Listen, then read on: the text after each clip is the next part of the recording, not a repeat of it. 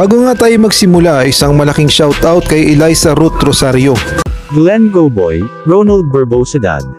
at gay na rin kay Arnold Salazar. Kagawad Kats Aquino Dukusin.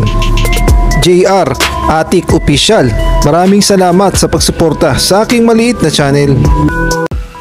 Alam naman nating lahat na si Christian Stan Hardinger ang itinanghal na best player of the conference at ang naging best import naman ay itong si Ronde Hollis Jefferson. Masaya naman ang lahat sa naging resulta dahil patas naman ang naging laban para sa best player of the conference at sa best import. At ang buong barangay Hinebra fans nga. At gayon na rin ang mga barangay Hinebra. Owner at manager ay binati pa nga itong si Ronde Hollis Jefferson sa kanyang pagkapanalo bilang best import ang nakapagtataka lang sa naging interview nga dito kay Coach Jolas matapos kang manalo ang talk in text laban sa Barangay Hinebra at nung tanungin nga siya kung anong masasabi niya sa naging performance si Justin Brawley ang sagot niya nga ay baka daw nadismaya dahil hindi nakuha ang Best Import Award at kaya naman daw humina ang naging laro. At ito nga yung buong sinabi ni Coach Jolas sa naging interview sa kanya. Coach, back in game two, where you won that game as well, you limited Justin Brownlee. Now, it was obvious um, players were aggressive in attacking him. Five fouls. We rarely see Justin uh, be in that position. What can you say about that? I don't know. Maybe he was disappointed he didn't win his fifth uh, MVP. I don't know. Maybe he was disappointed he didn't win his fifth uh, MVP.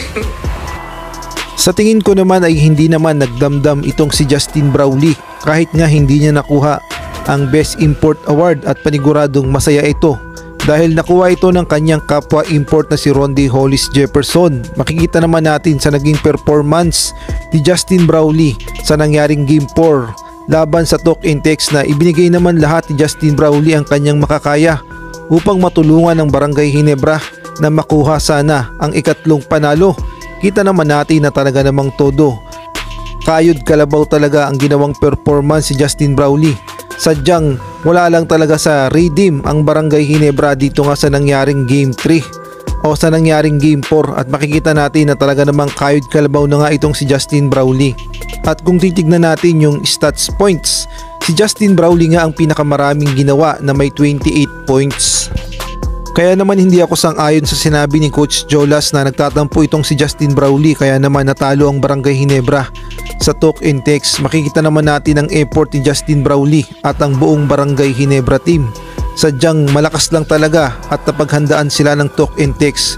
Pero for sure, sa Game 5 ay babawi ang Barangay Hinebra laban nga dito sa talk in text. Kung kayo naman ang tatanungin anong masasabi nyo sa naging interview kay Coach Jolas at sa naging sinabi niya dito kay Justin Brawley. Maaari kayong mag-comment sa baba.